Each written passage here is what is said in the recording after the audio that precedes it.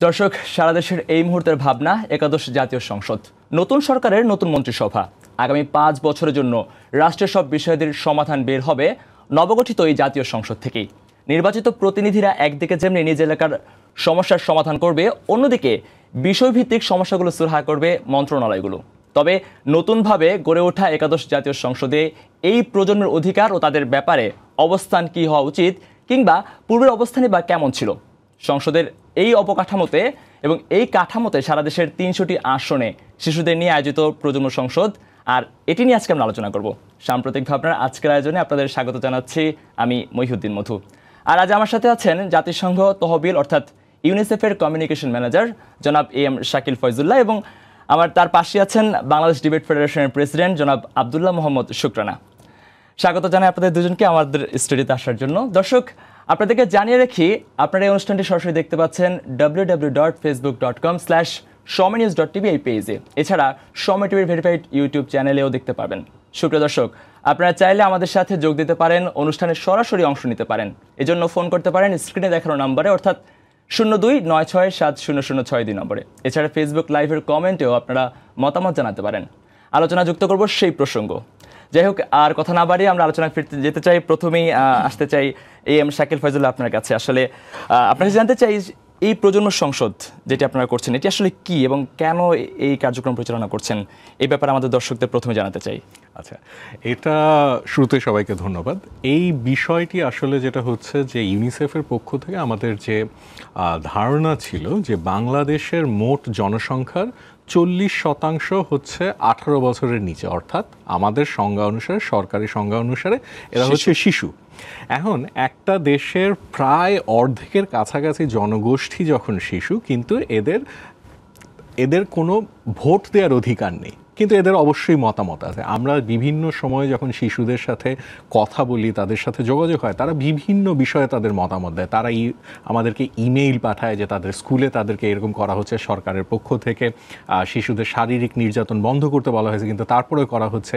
এই ধরনের নানাবিধ সংবাদ আমরা সবসময়ই পেয়ে যাই। আচ্ছা। তো আমাদের এই প্রজন্ম সংসদের মাধ্যমে আমরা আসলে চাচ্ছি যে যারা নীতি নির্ধারক আছেন তাদের সাথে এই চল্লিশ শতাংশ জনগোষ্ঠীর সরাসরি একটি সংযোগ তৈরি করে দিতে যেন শিশুরা আচ্ছা। তাদের মতামতটা সরাসরি নীতি নির্ধারকদেরকে জানাতে পারেন এবং নীতি নির্ধারকরা সেই মতামতের ভিত্তিতে পরবর্তী প্রজন্মের জন্য নীতি নির্ধারণে তারা গুরুত্ববহ ভূমিকা রাখতে পারে অর্থাৎ আপনারা একটা ব্রিজ তৈরি করার চেষ্টা করছেন শিশুদের সাথে সরকারের সাথে বা যারা সরকার কার্যক্রম পরিচালনা করছেন তাদের সাথে যেটি আচ্ছা। এটা নিঃসন্দেহে খুব ভালো একটি উদ্যোগ। আমি জনাব আব্দুল আহমদ শুক্রানা আপনার কাছে আসতে চাই। এই আয়োজনের বা এই বিষয়টির প্রয়োজনীয়তা কেন উপভোগ করছেন আপনারা? মানে কি কারণে আপনাদের মনে হচ্ছে যে এটি করা উচিত ছিল? আচ্ছা অনেক সময় ধন্যবাদ সঞ্চালক আপনাকে। আমরা বাংলাদেশ ডিবেট ফেডারেশনের প্রেসিডেন্ট আমি কাজ করছি বিতর্ক নিয়ে মূলত। আমি কেন প্রজন্ম সংসদ জিনিসটিকে চিন্তা করলাম? এই জায়গাটি একটু পরিষ্কার করি। সেটা হচ্ছে যে দেখেন শাকিল ভাই বলল যে আমাদের একটা বড় জনগোষ্ঠী কিন্তু আঠারো বছরের নিচে। আর আমরা যারা বিতর্ক নিয়ে কাজ করি আমাদের কিন্তু একটা মূল কার্যক্রমের অংশগ্রহণই হচ্ছে স্কুল কলেজ ইউনিভার্সিটির যে বাচ্চারা কথা বলতে চায় তারা যেন গুছিয়ে কথা বলতে পারে তারা যেন একটি কি বলব যুক্তি নির্ভর সমাজ হিসেবে বাংলাদেশে গড়ে ওঠে তা নিয়েই কিন্তু আমরা কাজ করি। তো আমরা যখন আসলে পারস্পরিক আলোচনায় গেলাম তখন আমরা দেখলাম যে আমরা এই দুটি চিন্তাকে অর্থাৎ ওনারা চাচ্ছেন যে শিশুদের মতামতটি উঠে আসুক আমরা চাচ্ছি শিশুরা তাদের কথাটি যুক্তিযুক্তভাবে একটি বস্তুনিষ্ঠভাবে জাতির সামনে তুলে ধরুক আচ্ছা। এই দুটিকে একসাথে করা যায় কীভাবে তা আমরা সারা বাংলাদেশে তো জেলা পর্যায়েও কাজ করেছি কিন্তু আমরা যদি আরেকটু ডিপে যাই আপনি দেখবেন আমরা যে বলেছেন তিনশো আসন ভিত্তিক তখন আমরা চিন্তা করলাম যে তাহলে আমরা কেন না এই তিনশো আসনে যে এই তিনশো আসনের যে স্কুলের বাচ্চারা আছে তাদেরকে অ্যাকোমোডেট করি এবং সেটা অবশ্যই এখনকার যে ডিজিটাল বাংলাদেশ সেই ডিজিটাল বাংলাদেশের অংশকে সাথে নিয়েই ডিজিটাল বাংলাদেশের সাফল্যকে পাশে নিয়েই আমরা অনলাইনে আমরা ফেসবুকের মাধ্যমে প্রথমে একটা পেজ করি সেই আচ্ছা। পেজ থেকে আমরা কিন্তু তিনশো আসন ভিত্তিক ফেসবুক গ্রুপ খুলেছি এবং গ্রুপ খুলে তাদের ওই বিভিন্ন আসনে যে বাচ্চারা যে স্কুলে পড়ে শুধু বিতার্কিক না কিন্তু আচ্ছা। এখানে যারা বিতার্কিক না শিশুরাই। সবাই মতামত দিতে পারবে তারা যদি সেটা অবস্থান সম্পন্ন ঘরের হোক অবস্থা বঞ্চিত মানুষ হোক আমরা যেখানে যেখানে ওয়ার্কশপ নিতে গেছি আমি ডিটেলে আসলে আপনাকে আরও বলব সেটা। সেখানেও আমরা কিন্তু অবস্থা বঞ্চিতদেরকেও যেন এটার সাথে কানেক্ট করতে পারি সেভাবে ওই বাচ্চা যাদের কাছে গিয়েছি যারা আমাদের ওয়ার্কশপে এসেছে তাদেরকে অনুরোধ করে এসেছি পথ দেখিয়ে এসেছি তো এই প্রজন্ম সংসদটা আসলে আমাদের যে ভবিষ্যৎ প্রজন্ম তাদেরকে যুক্তি নির্ভর বস্তুনিষ্ঠভাবে গড়ে তোলা এবং তাদের অধিকার সম্পর্কে সচেতন করার জন্য আমার কাছে মনে হচ্ছে একটি যুগোপযোগী একটি উপায় হতে পারে। সে নিয়ে আমরা কাজটা আসলে শুরু আচ্ছা, করেছি। সকল শিশুদের কি ফেসবুক পে আইডি আছে বা তারা যে আপনার সাথে সম্পৃক্ত হচ্ছেন এইটির আসলে কোনো প্রসিডিউর আছে? এটা কে বলবেন? না এটা খুব জানা জরুরি ছিল আমার দর্শকের প্রশ্ন ছিল প্রথমে আচ্ছা আগে যখন আমরা হ্যাঁ, আচ্ছা আমি আসছি। সেটা হচ্ছে যেটা আমি আপনাকে বললাম যে শুধু অবস্থা অবস্থায় যারা আছে বা যারা ফেসবুক ব্যবহার করে হ্যাঁ বা যারা একটু মোবাইল আধুনিক স্মার্টফোন ব্যবহার করে তারা ছাড়া বাকিরা কীভাবে তাদের মতামতটা দেবে হ্যাঁ। এটি আমি আপনাকে বললাম যে আমি বিস্তারিত বলব আচ্ছা। সেটি হচ্ছে যে আমরা প্রত্যেকটা জায়গায় বলে এসেছি যে যারা তোমরা আছো তোমরা তো করছোই যাদের তোমাদের এখানে মোবাইল নেই তোমরা তোমাদের বাবা মার সহযোগিতা নাও। তোমার যে পাশের বন্ধুটির মোবাইল আছে তোমরা তার সহযোগিতাটা নাও। তুমি যেটা জানো যে তোমার স্কুলে পড়ে না বা স্কুলে পড়ে একটি গরিবদের স্কুল বা ধত দরিদ্রদের স্কুল সেখানে যাও তোমরা। কারণ আমরা তো বিভিন্ন জায়গায় গিয়েছি। আমরা কিন্তু এটা বলে রাখা ভালো আমরা সারা বাংলাদেশকে দশটি অঞ্চলে ভাগ করে আমরা ওয়ার্কশপ করছি। এবং সেই ওয়ার্কশপে ওই দশটি অঞ্চলের মধ্যে যে আসনগুলো পড়ে সে আসনগুলোকে চিহ্নিত করে সে আসন থেকে বাচ্চাদেরকে এনে তাদের সাথে প্রসেসটা শেয়ার করছি। কীভাবে তারা আমাদের সাথে ফেসবুকে যুক্ত হবে তাদের মতামতগুলো দিবে সেইভাবে তাদেরকে অ্যাড করছি এবং তাদেরকে আমরা অনুরোধ জানিয়ে আসছি যে তোমরা তোমাদের পাশের যে মানুষটিকে দেখবে মোবাইল নেই তোমরা যে মানুষটিকে দেখবে যে তার আসলে একটি মোবাইল কিনে মতামত জানানোর ক্ষমতাটি নেই তার ফ্যামিলির বা তাদের তাদেরকে সহযোগিতা করো। আচ্ছা। আমরা এইভাবে উৎসাহিত করছি। হতে পারে সেটি খুব স্বল্প উদ্যোগ কিন্তু আমরা মনে করি যে এটি থেকে তো বড় কিছু হওয়া সম্ভব বা একটা পরবর্তীতে এটির মাধ্যমে পারস্পরিক সহযোগিতাটা তো তারা শিখবে। আচ্ছা আচ্ছা। আমি এই জন্য শাকিল ফজল আপনাকে আসতে চাই যে আসলে এই ফেসবুক ব্যবহারের প্রয়োজনীয়তা তার মানে কি আপনারা ভাবছেন যে আঠারোর নিচেও কাউকে সুযোগ দেওয়া উচিত আছে কিনা? সেটি কি আহ, এইখানে যে বিষয়টি হচ্ছে যে ফেসবুকের প্রসঙ্গটি হ্যাঁ, আপনি হ্যাঁ, কেন এনেছেন? আমি যদি সঠিকভাবে বুঝে উঠতে পারি তাহলে যেটা হচ্ছে যে এই সোশ্যাল মিডিয়া ব্যবহার নিয়ে কিন্তু হ্যাঁ, অনেক নেতিবাচক ধারণা আছে। অনেক কিছু আছে। এটা নিয়ে ইউনিসেফের পক্ষ থেকে আমরা নিজেরাও কাজ করছি অনলাইন হ্যাঁ। সেফটি ফর চিলড্রেন এই ইস্যু নিয়ে। কিন্তু এই জায়গায় যেই সমস্যাটি হচ্ছে আমি খুব সহজ বাংলায় যদি বলি যে মনে করুন যে আমরা খুব আদিম যুগে বাস করি। আমি হঠাৎ করে কোনো কারণে কোনোভাবে একটা চাকু মতো আবিষ্কার করলাম আচ্ছা। এখন সেই চাকুটাকে কিন্তু এক একজন এক একভাবে ব্যবহার করতে পারে আমি ওই চাকুটাকে দিয়ে আপেল কেটে আপেল কেটে খেতে পারি। আবার যদি না জানি ওইটা দিয়ে কারও হাতও কেটে ফেলতে পারি। ঠিক আছে? এখন আমরা বিষয়টিকে এমনভাবে দেখার চেষ্টা করছি যে আমরা আমাদের এই প্রজন্মকে এই সোশ্যাল মিডিয়া বা সামাজিক যোগাযোগ মাধ্যমটাকে তাদের কাছে এমনভাবে তুলে ধরতে চাচ্ছি যেন এটা তাদের কাছে সেই আপেল কাটার মতো হয়। আচ্ছা। অর্থাৎ এর মাধ্যমে তারা যুক্ত হবে। এতদিন পর্যন্ত আমরা বাংলাদেশে বলি কিংবা বিশ্বের বিভিন্ন জায়গায় বলি ফেসবুকটা হয়েছে শুধুমাত্র আমি ভালো আছি তুমি ভালো আছো তো আমার ওই বন্ধু ওইখানে আছে আমি এই যাচ্ছি। এটার জন্য। কিন্তু আমরা এটা কি খুব সুন্দরভাবে ব্যবহার করতে যাচ্ছি যেন সব শিশুরা যুক্ত হতে পারে। এবং এখানে আমি খুব সহজ একটি উদাহরণ দিচ্ছি যে আমাদের যে ফেসবুক পেজটি আমরা চালু করেছি এখানে এখন পর্যন্ত প্রায় একাশি হাজার সদস্য যুক্ত হয়েছে। আচ্ছা এটা প্রত্যেকেই হচ্ছে শিশু বা প্রজন্মের অন্তর্ভুক্ত? আঠারো সেই জায়গা না প্রত্যেকে না। এইখানে যে মজার বিষয়টা হচ্ছে যে আমরা ফেসবুকের প্রতিদিন আমরা এটা মনিটর করি। এবং আচ্ছা। আমি খুব গর্বের সাথে বলতে পারি যে আমাদের এই পেজটিতে প্রায় চুরাশি শতাংশ হচ্ছে তেরো থেকে আঠারো বছরের মধ্যে আচ্ছা, আর বাকিরা হচ্ছে অনেক ক্ষেত্রে যেটাকে আমরা এনকারেজ করি হ্যাঁ। বাচ্চাদের সেফটি ইস্যুতে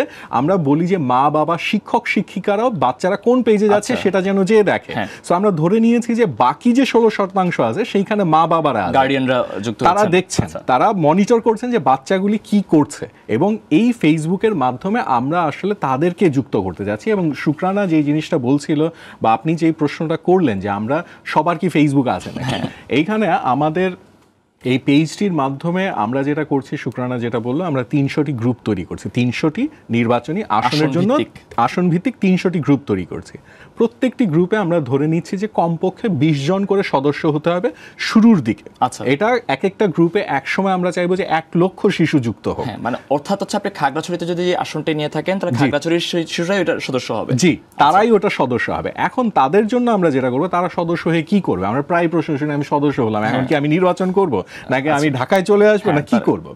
এটার জন্য তাদেরকে আমরা যেটা বলেছি যে আমরা ইউনিসেফের পক্ষ থেকে যেটা বিশ্বাস করি একটা শিশুকে কখনোই কোনো প্রতিযোগিতা বা কোনো কিছুর মধ্যে দিয়ে গেলে পরে তার ভেতরে একটা মানসিক প্রতিক্রিয়ার তৈরি হয়। একটা প্রতিযোগিতায় যাচ্ছে একটা শিশু তখন কিন্তু মা বাবা বলে তোকে ফার্স্ট হতে হবে। একটা পরীক্ষা দিচ্ছে তোকে ফার্স্ট হতে হবে। আমরা সেই প্রতিযোগিতায় আমরা যাব না। আমাদের মূল কনসেপ্টটা হচ্ছে এই তিনশোটি আসনে আমরা প্রতি সপ্তাহে শিশুদের সংশ্লিষ্ট এক একটি বিষয় নিয়ে আলোচনা করব তাদের সাথে।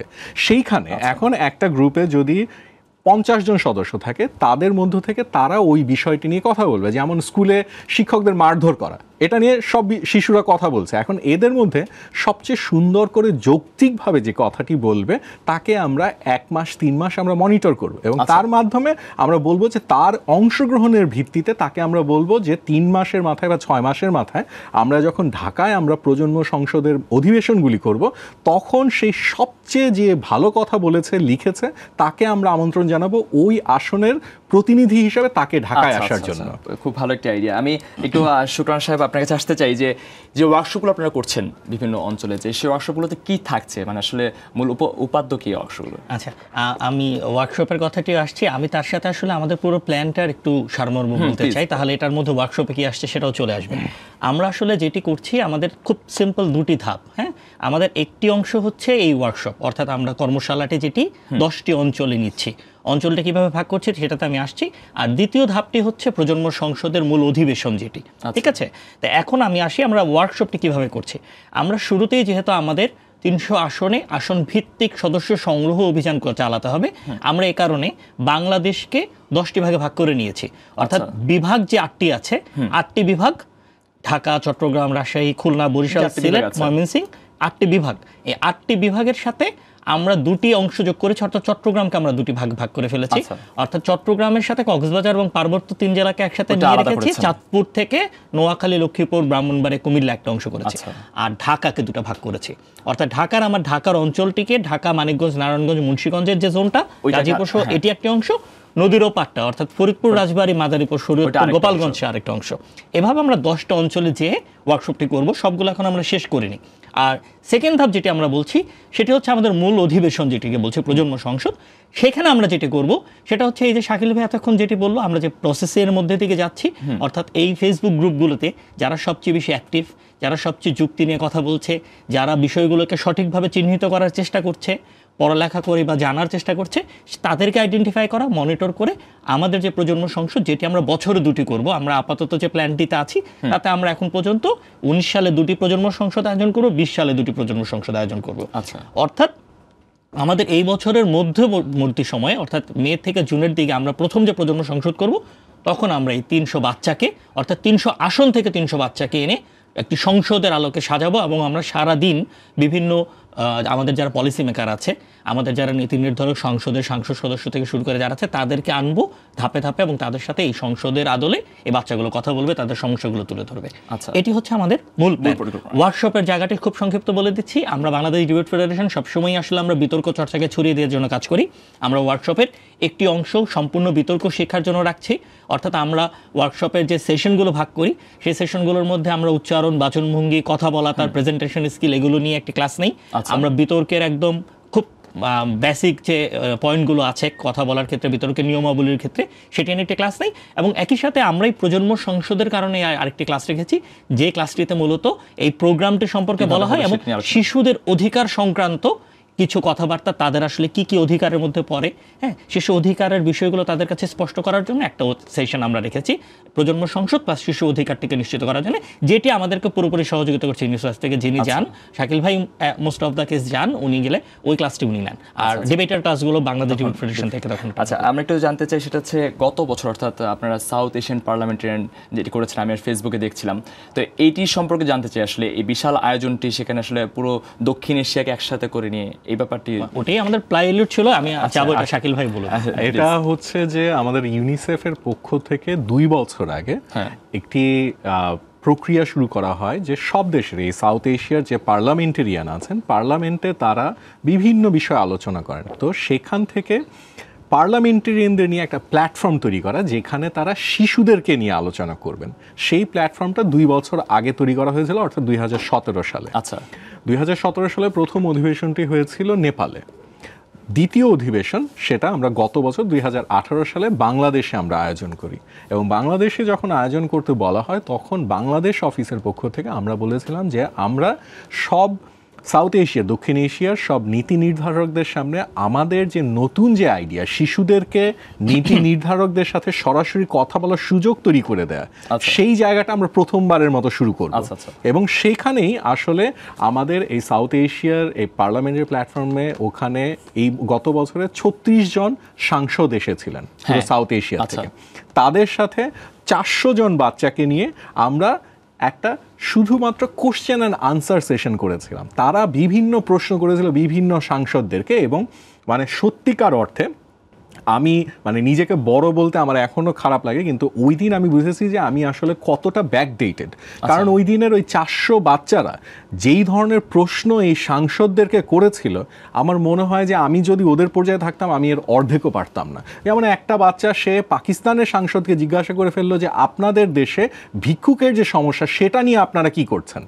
আমি ইউনিসেফে কাজ আচ্ছা। করে আমি পাকিস্তানে ভিক্ষুক সমস্যা একটা বড় সমস্যা সেটা আমি জানি না। কিন্তু ওই শিশুরা জানে। অতএব আমাদের তখন মনে হয়েছে যে এই শিশুদেরকে আমরা যদি সেই জায়গাটি তৈরি করে দিতে পারি যেখানে তারা সরাসরি সাংসদদের সাথে কথা বলবে তাহলে আমার কাছে মনে হয় যে সবাই প্রচণ্ডভাবে উপকৃত হবেন এবং সেই জায়গা থেকে আমাদের এই উদ্যোগটি নেয়। আচ্ছা জনাব শুক্রানা আপনার কাছে আরেকবার জানতে সেটা হচ্ছে এই প্রজন্ম সংসদের সাথে জাতীয় সংসদের ফারাকটি কোথায়? মানে আপনারা কেন এটিকে জাতীয় সংসদে রূপান্তর করতে পারছেন না কিংবা জাতীয় সংসদে এর রূপান্তর কীভাবে দেখতে চান? আপনারা যেটি করছেন।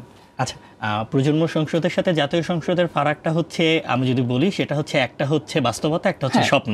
আচ্ছা। ঠিক আছে। এই স্বপ্নটি কীভাবে সেখানে প্রতিফলিত হবে?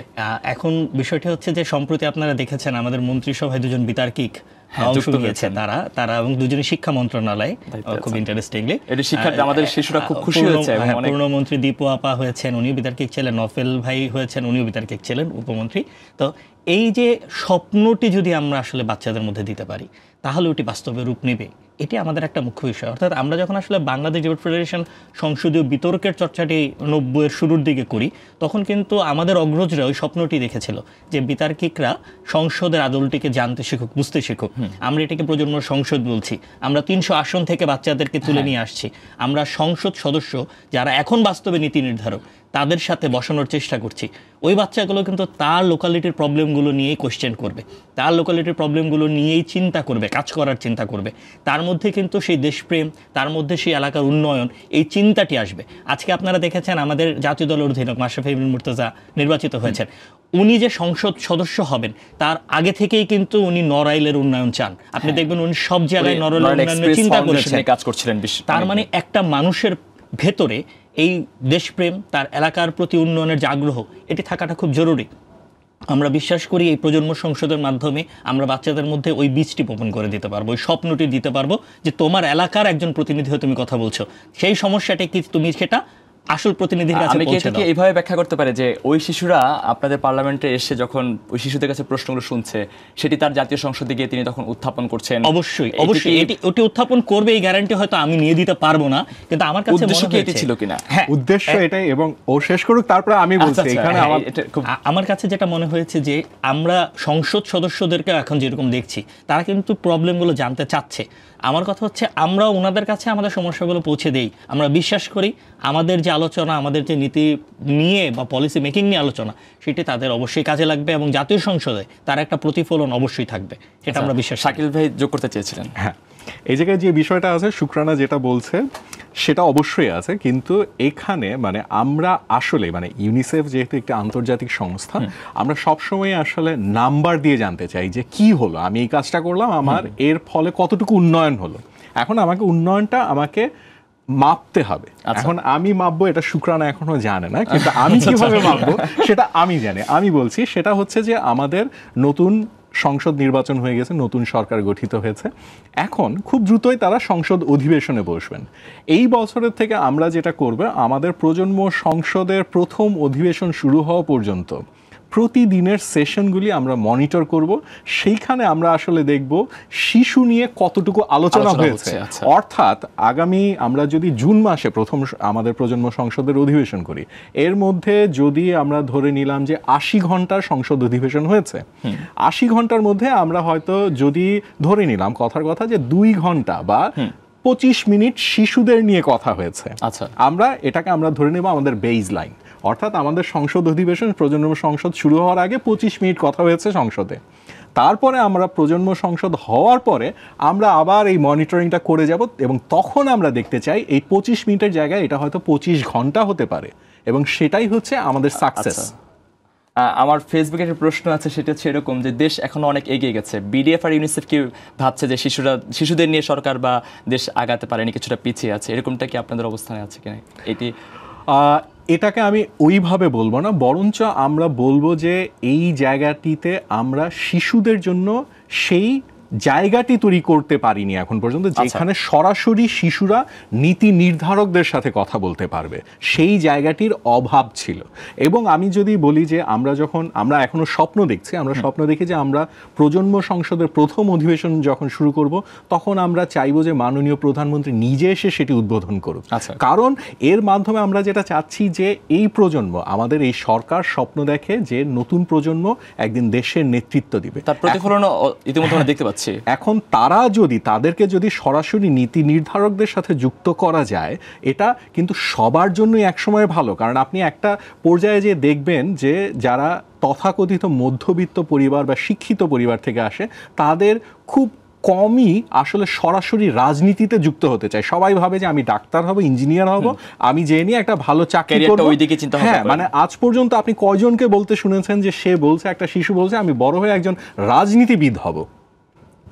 আমরা সেই জায়গাটি তৈরি করতে যাচ্ছি যেন তারা পরিশীলিতভাবে এই নীতি নির্ধারকদের সাথে কথা বলে তারা বুঝতে পারে যে তাদেরও এখানে দায়িত্ব আছে তাদেরও অনেক কিছু দেবার বলার করার আছে। এবং সেই জায়গাটি যদি আমরা তৈরি করতে পারি তাহলেই আমরা বলব যে আমরা সার্থক হয়েছি। এবং আচ্ছা। একই সাথে আমি একটা ছোট্ট জিনিস যোগ করতে চাই যে এই উদ্যোগটি শুধুমাত্র কি মানে যাদের সক্ষমতা আছে যাদের মোবাইল ফোন আছে যাদের ফেসবুক আছে শুধু তাদের জন্য তা নয়। হ্যাঁ এই প্রশ্নটি আমি আসতাম এটি আসলে জানা দরকার আচ্ছা। এটা আমরা কীভাবে অ্যাড্রেস করার চেষ্টা করছি আমরা যেটা বললাম যে আমাদের এই প্রজন্ম সংসদে প্রতি সপ্তাহে আমরা এই তিনশোটি গ্রুপে আলোচনা করব। এখন একটি কথা হচ্ছে যে আমি যদি শিশু হতাম আমাকে যদি প্রতি সপ্তাহে কেউ ওই জ্ঞান গর্ভ আলোচনা করতে বলে আমার কিন্তু উৎসাহ চলে যায়। হ্যাঁ। আমি করব না শিশু হিসাবে। আমি খুব সহজভাবে বুঝি।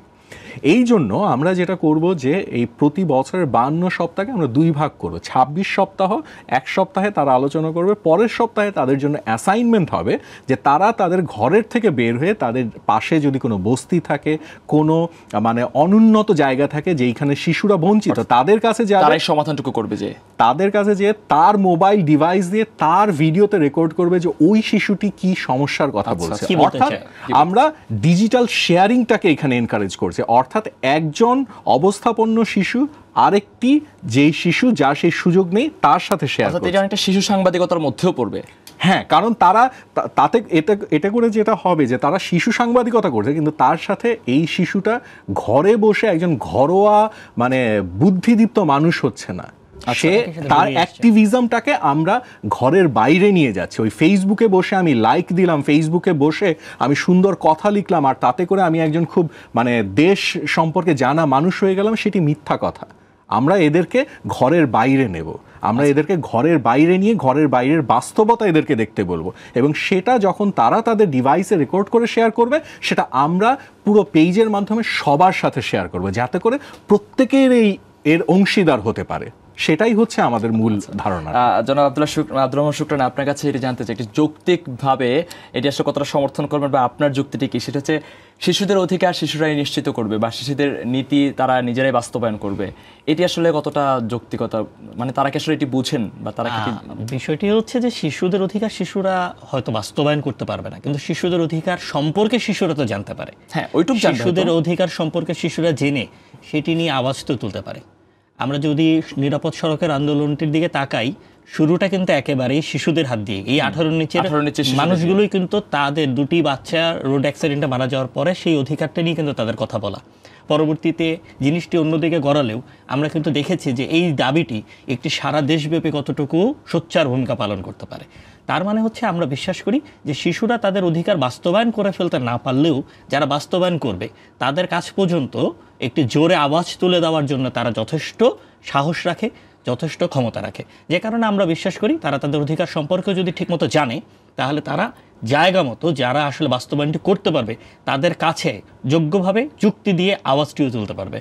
এবং সেই আওয়াজটি তুলতে পারলেই কিন্তু আসলে সমস্যার সমাধান দিকে আমরা আগাতে পারব। এই জায়গায় হ্যাঁ আপনার কাছে একটু জানতে চাই যেহেতু বিশেষ- আমি আসলে দর্শক আপনারা হয়তো শুনলে অবাক হবেন যিনি ডিবেট ফেডারেশনের কথা বলছেন তিনি তো এমনিতেই বিতার্কিক এটিতে বলার অপেক্ষা রাখে না। কিন্তু যিনি আজকে ইউনিসেফের হয়ে কথা বলছেন ইউনিসেফের দায়িত্ব পালন করছেন তিনি একজন অর্থাৎ রথী মহারথী আমরা যখন যেভাবে বলতে পারি তিনি সেই সময়কার এবং বর্তমান সময় সবার মাঝে সেই বিতার্কিক হিসেবে এবং তার যৌক্তিক বোধ আপনারা ইতিমধ্যে বুঝতে পারছেন। তো আপনার কাছে এটি আসলে যৌক্তিকতা একটু জানতে চাই।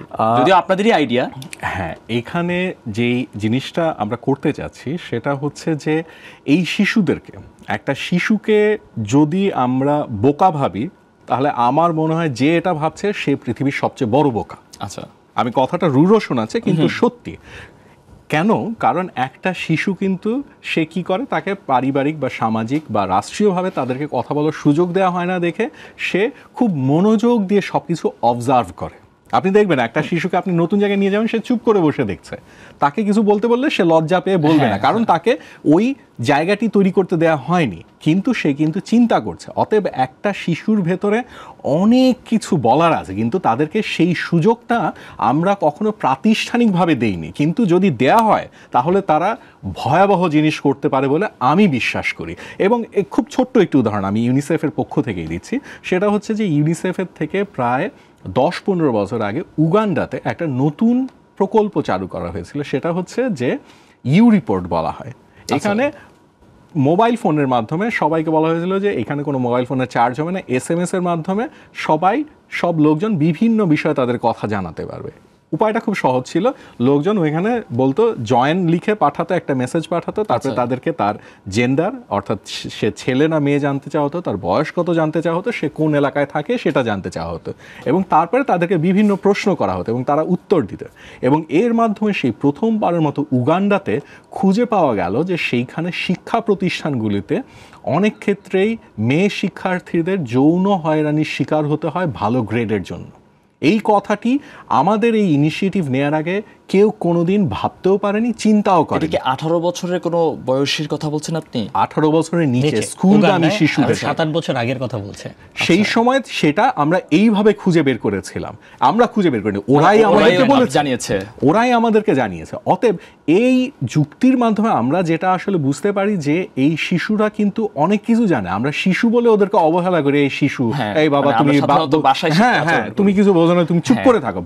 আমার মনে হয় ওরা অনেক বেশি জানে ওরা অনেক কিছু জানে। কারণ আপনি একটা মোবাইল ফোন দিয়ে আমাকে যদি বলেন যে আমাকে দশ দিন একটা মোবাইল ফোন বা টেকনোলজি দিয়ে আমাকে দশ দিন পর আমার পরীক্ষা নেন আর দশ দিন ঠিক দশ দিন আরেকটা শিশুকে ওই ডিভাইসটি দিয়ে পরীক্ষা নেন আমি নিশ্চিতভাবে বলতে পারব সেই শিশুটি আমার থেকে ভালো আমরা পরিবারে দেখেছি বাবা মার ফোনটির সেটিংস ঠিক করে দেওয়া সবকিছু ওই শিশুটাই করে অতএব দিচ্ছে অতএব আমরা কখনোই বিশ্বাস করি না যে ওরা কিছু জানে না ওরা অনেক বেশি জানে কিন্তু ওরা বলার সুযোগটা পাচ্ছে না। সেই সুযোগটা আমরা দিতে চাচ্ছি তাদেরকে। সেই সুযোগটা দিতে পারলে আমার কাছে মনে হয় যে এটা বড় হিসেবে আমাদের জন্য এটা খুব জরুরি। আমরা তাহলে খুব ভালো কাজ করতে পারব এবং অনেক কিছু জানতে পারব। যেমন আমি খুব সহজ একটি উদাহরণ দিই যে মাত্র কয়েক বছর আগে আমাদের সরকারের পক্ষ থেকে আইন করে বলা হলো যে শিশুদেরকে কোনোভাবে শারীরিকভাবে নির্যাতন করা যাবে না। হ্যাঁ। এটা কয়েক বছর আগের ঘটনা গত দশ বছরের ভেতরেই হয়েছে।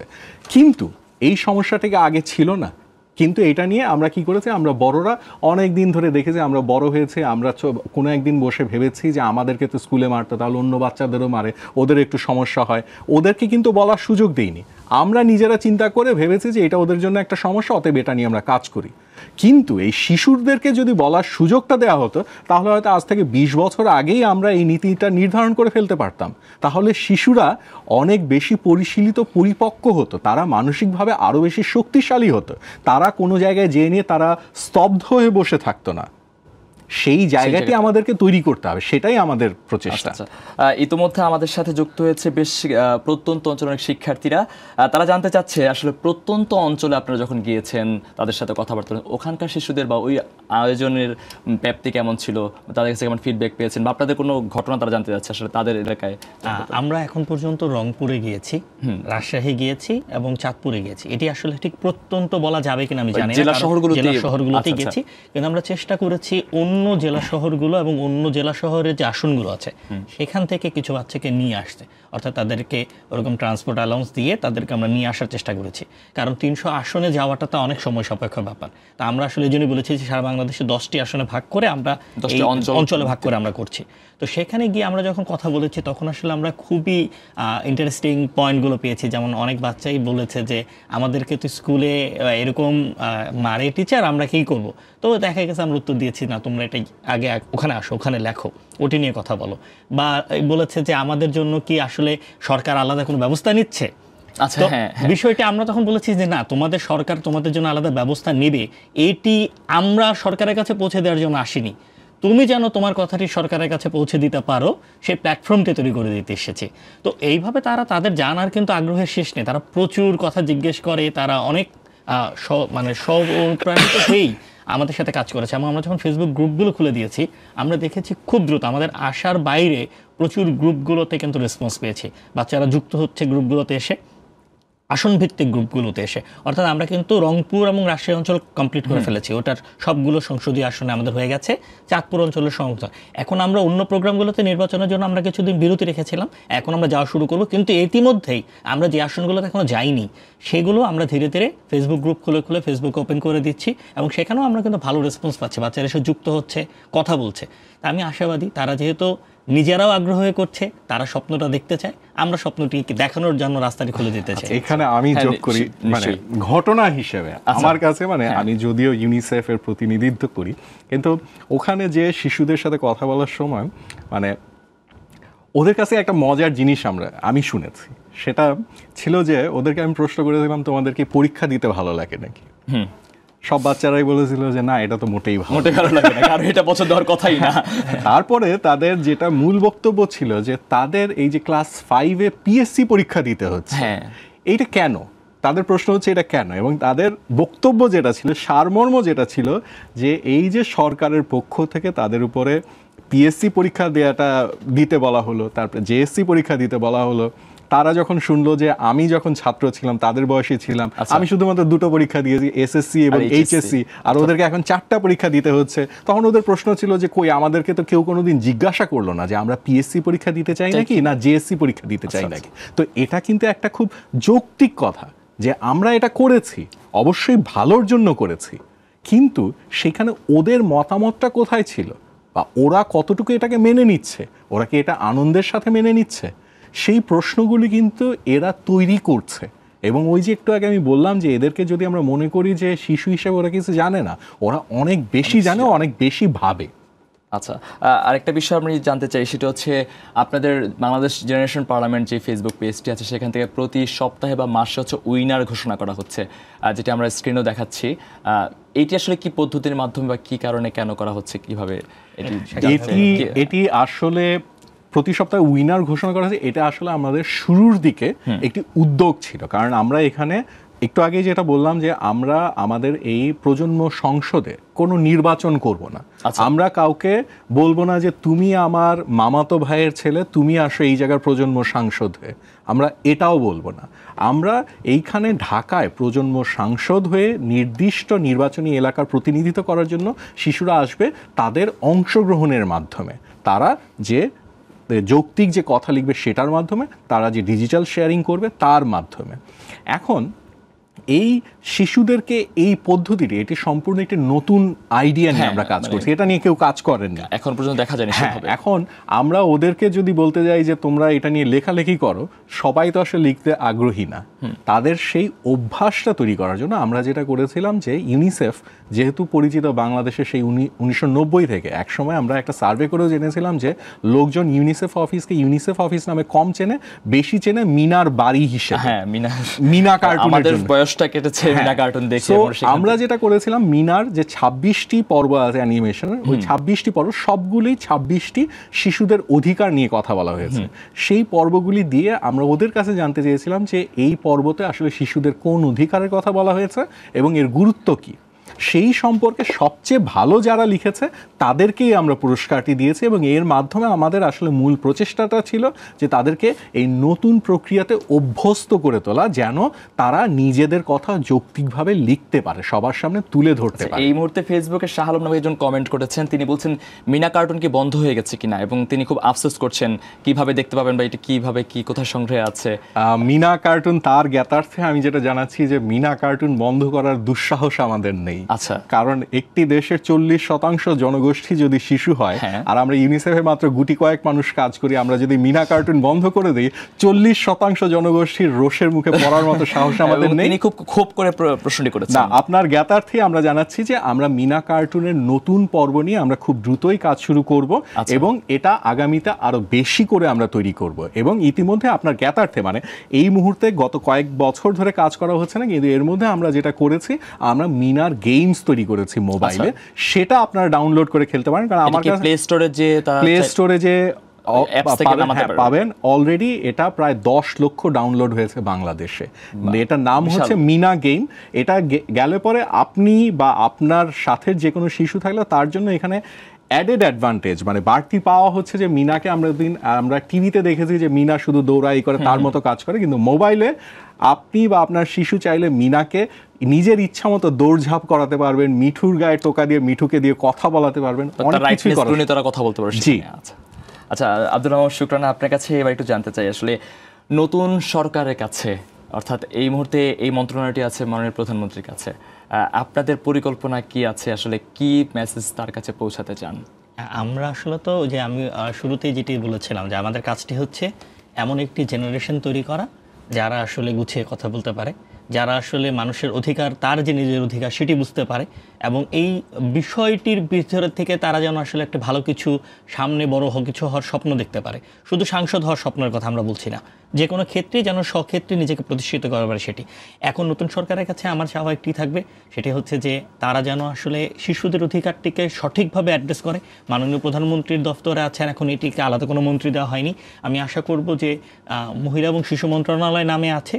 এইখানে শিশু অধিকার নিয়ে তাদের যে সমস্যাগুলো আছে সেগুলোকে নির্দিষ্ট করে কারণ বেশ কিছু সমস্যা কিন্তু খুবই সিগনিফিকেন্টলি শিশুদের জন্য প্রবলেমেটিক একটি হচ্ছে তাদের হাউস হোল্ডের ক্ষেত্রে কাজের মানে শিশুদেরকে যে শ্রমের- শ্রমের ব্যাপারটি আছে সেখানে একটি সমস্যা আছে।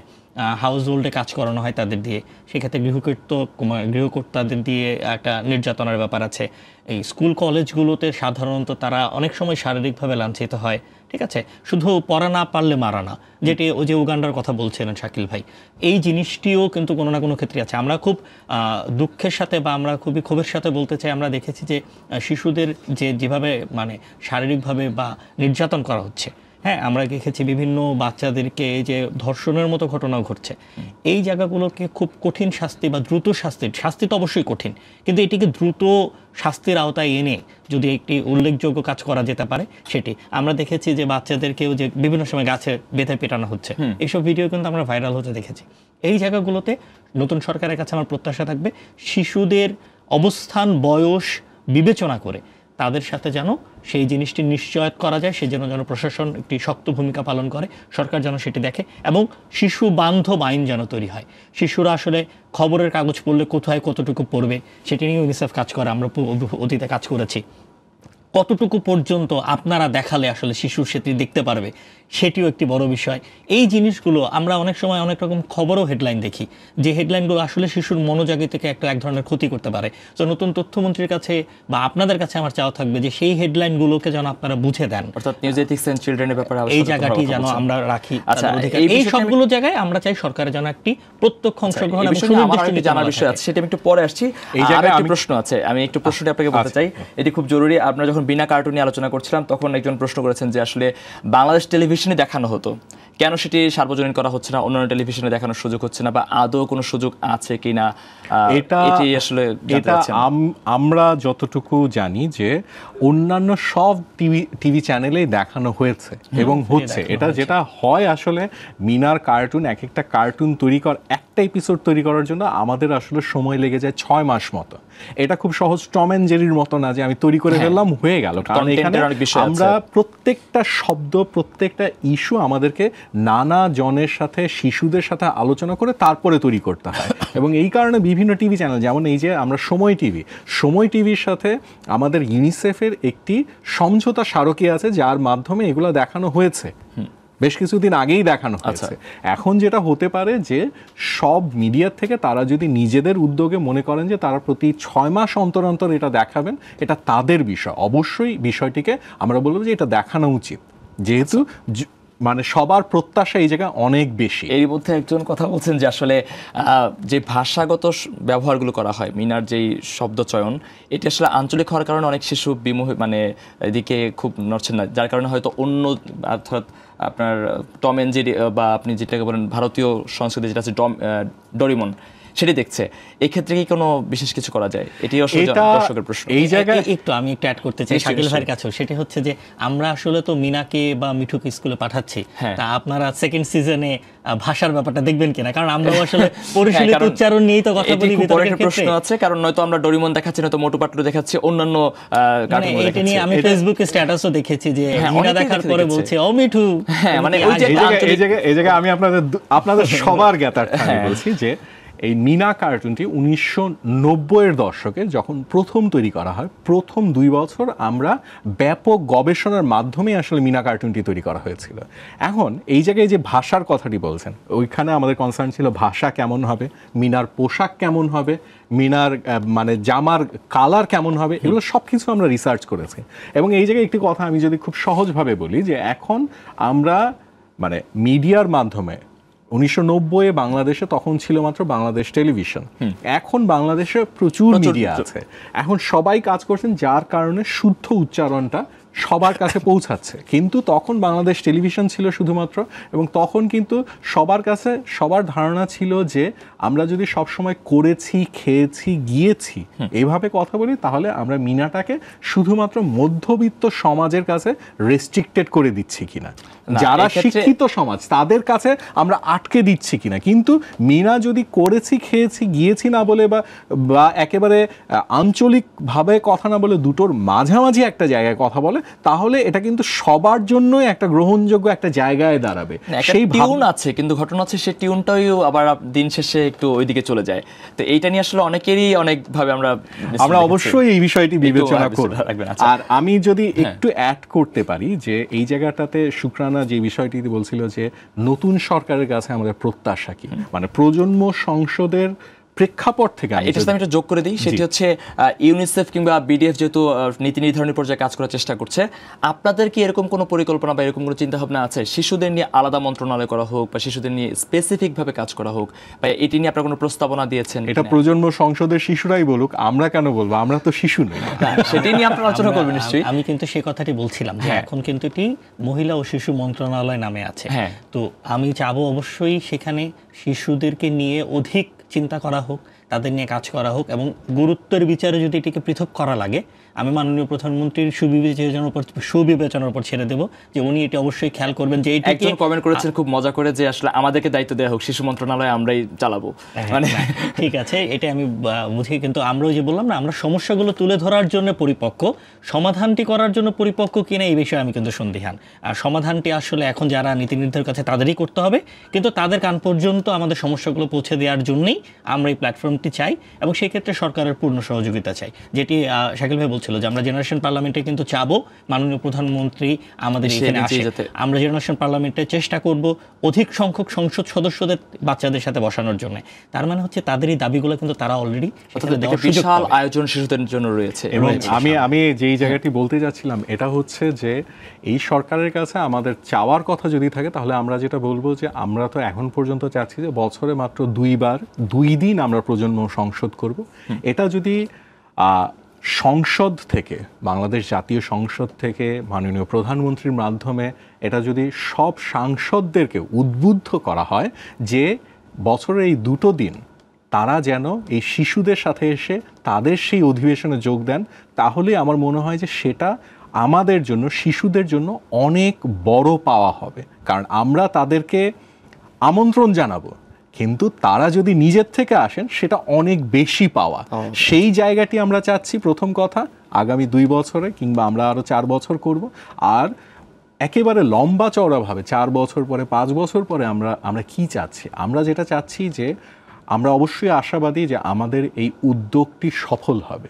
এবং এই সফলতার ভিত্তিতে আমরা যেটা আশা করব যে আজ আজ থেকে পাঁচ বছর পরে কিংবা ছয় বছর পরে এই উদ্যোগটি যেন জাতীয় সংসদের অধীনে একটি প্রাতিষ্ঠানিক রূপ দেওয়া হয়, যার মাধ্যমে এটা সরকারের পক্ষ থেকেই এই উদ্যোগটি সারা বছর ধরে, সারা দেশ জুড়ে সব সময় চলবে। কারণ ইউনিসেফ, আমি যদিও বাংলাদেশে, কিন্তু আমি কাজ করি একটি আন্তর্জাতিক প্রতিষ্ঠানে। একটা আন্তর্জাতিক প্রতিষ্ঠান কিন্তু বছরের পর বছর ধরে কোনো একটি উদ্যোগকে চালিয়ে যেতে পারে না।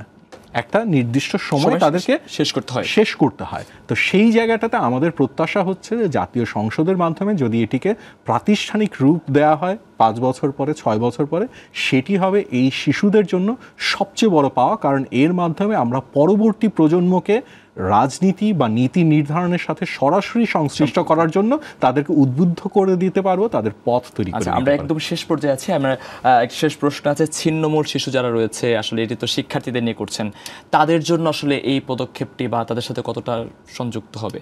এই বিষয়টি আসলে কীভাবে?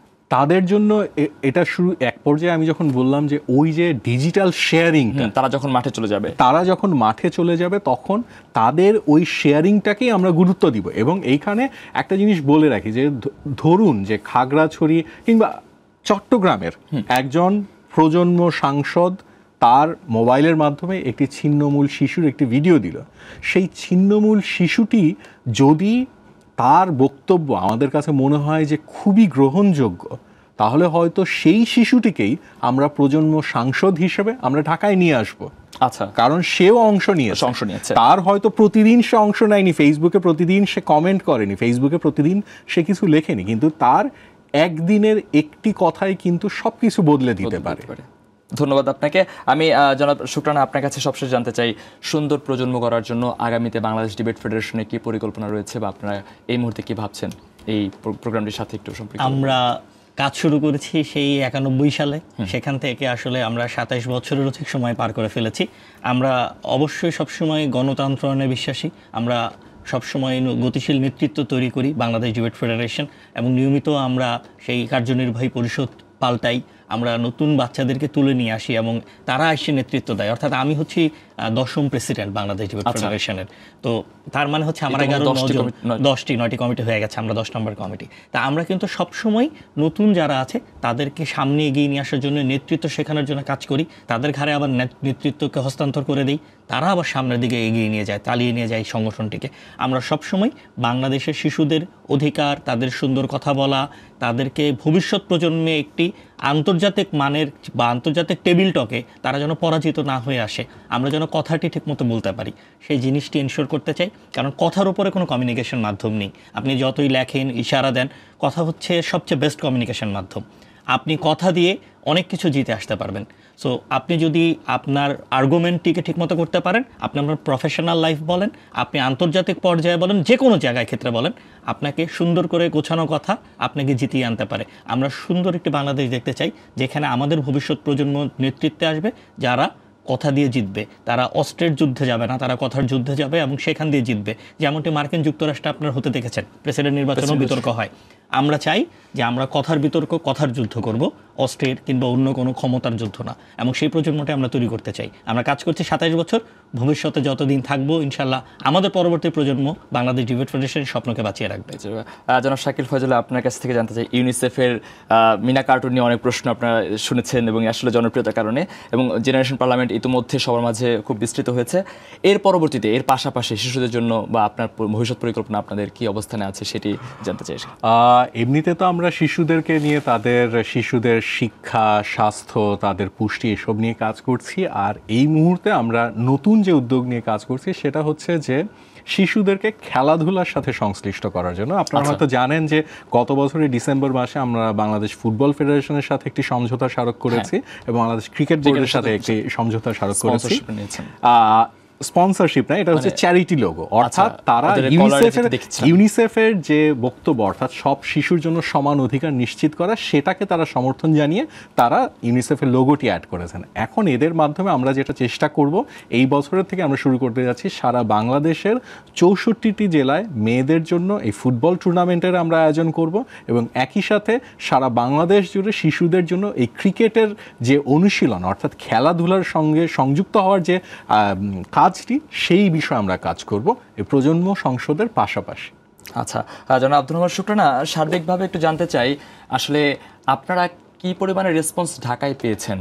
যেটি আসলে ঢাকার অনেক আয়োজন মানে ঢাকার ছেলেপেলে যারা শিক্ষার্থী আছে তারা এটি নিয়ে খুব মুখিয়ে আছে। মানে এটি কি প্রত্যেকটা স্কুলে খুব এঙ্গেজ করেছে? আমরা এখনও আসলে তো আমরা ফেসবুক পেজে আছি।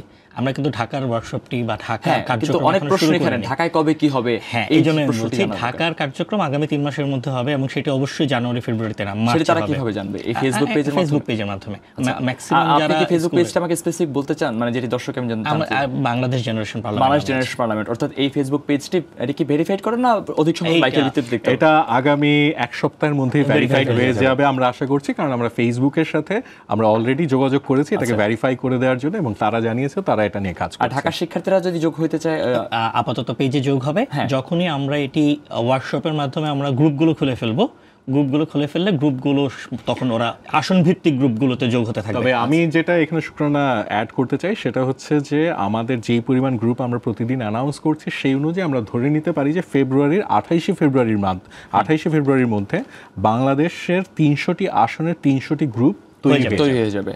যাবে আসন ভিত্তিক। একটু এখানে স্পেসিফিক ঢাকার শিক্ষার্থীদের জন্য আসলে তারা কি কি বিষয় নিয়ে আলোচনা করতে হবে এরকম কোনো বাধ্যবাধকতা কি রয়েছে আমরা ওরকম বাধ্যবাধকতা নয় আমরা দিয়ে দিচ্ছি। শিশুদের বিভিন্ন অধিকার এগুলো নিয়ে আলোচনা মানে আমরা কোনো দিচ্ছি। পুল টাইপের কিছু আছে যে আপনারা এটি নিয়ে আলোচনা করতে চান এরকম সেরকম সেরকম একটা পোলিং আমাদের চলছে কারণ আমরা আমাদের আলোচনাগুলি যেসব গ্রুপ অলরেডি তৈরি হয়ে গিয়েছে এখন পর্যন্ত আমার জানা মতে একশো সতেরোটি গ্রুপ তৈরি হয়েছে তিনশোটির মধ্যে। তিনশো আসনের মধ্যে একশো সতেরো আসনের গ্রুপ তৈরি হয়ে গেছে। হ্যাঁ, তো এই। তিনশোটি একশো সতেরোটি গ্রুপের আলোচনা আমরা এগারো তারিখ থেকে শুরু করতে যাচ্ছি। এই আচ্ছা, এই মাসের এই মাসের এগারো 11 তারিখ। থেকে, অর্থাৎ আর দুই দিন পর। দিন থেকে। অলরেডি তাদের মধ্যে কি বিষয়ে আমরা আলোচনা করব সেটার জন্য আমরা এক তারিখ থেকে পোলিং করে যাই আমাদের জেনারেশন পার্লামেন্টের পেজে পোল দিচ্ছি। আচ্ছা। সেখান থেকে কি কি বিষয়ে আলোচনা হতে আমরা নিঃসন্দেহে অনেক কিছু জানলাম এবং আপনাদেরকে ধন্যবাদ আমার আমন্ত্রণে আসার জন্য। আজকে সময় টেলিভিশনকে সময় দিয়েছেন আপনারা জানিয়েছেন আসলে ভবিষ্যৎ সুন্দর কীভাবে গড়া যায় এবং শিক্ষার্থীরা কেউ আপনার সাথে সম্পৃক্ত হবেন। ইউনিসেফকে ধন্যবাদ ধন্যবাদ জানাই বাংলাদেশ ডিবেট ফেডারেশনকে। দর্শক আশা করছি আজকের এই আলোচনায় প্রতিফলন ঘটবে জাতীয় সংসদে। শিশুরাই ভূমিকা রাখবে আগামীর বাংলাদেশ করতে। প্রত্যাশা, প্রজন্মকে কেন্দ্র করে বাস্তবায়িত হোক রাষ্ট্রীয় সব পরিকল্পনা।